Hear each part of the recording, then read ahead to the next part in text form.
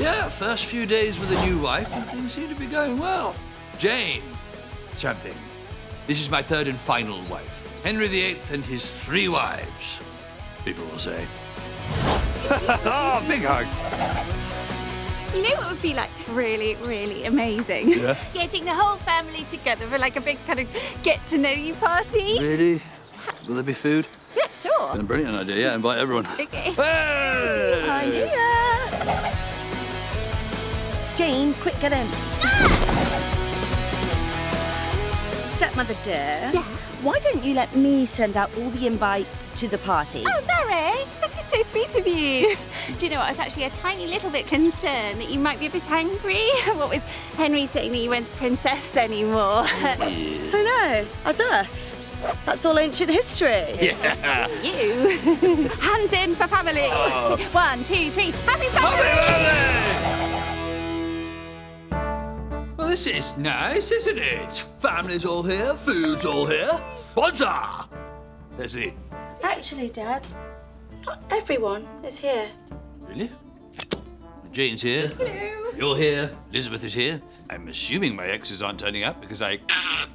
Sorry, I know that's insensitive. No offence, girls. They were your mums. But we're not all your children, are we? Henry Fitzroy in the house!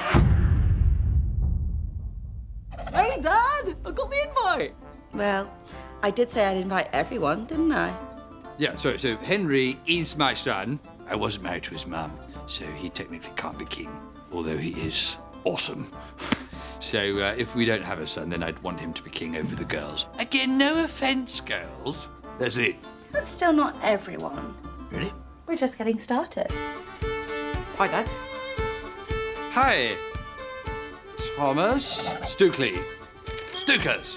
So I, I knew Thomas Stukely's mum quite well. Oh, very well, actually. Uh, I mean, it's pure speculation, obviously. I mean, no one can be sure. Shall we eat? Don't get too comfortable, Daddy. I just started. It's Catherine and Henry Carey. Look, Elizabeth, it's your cousins, or potentially half siblings. Two of them. This is going to be a really long evening for me. Everybody knows I went on a couple of dates with Anne Boleyn's Sister Mary. It's not a secret. Also, sorry, how do they have beards? They're 11 year old children, and one of them's a girl. The glue-on beards were my idea. Nice touch, don't you think? Well, this is nice. Shall we eat? Mm-mm. Oh, look, it's Audrey Moulton John Perrot. How many children do you have? Look, Jane, I'm a complicated guy. I may have had a few. Lots.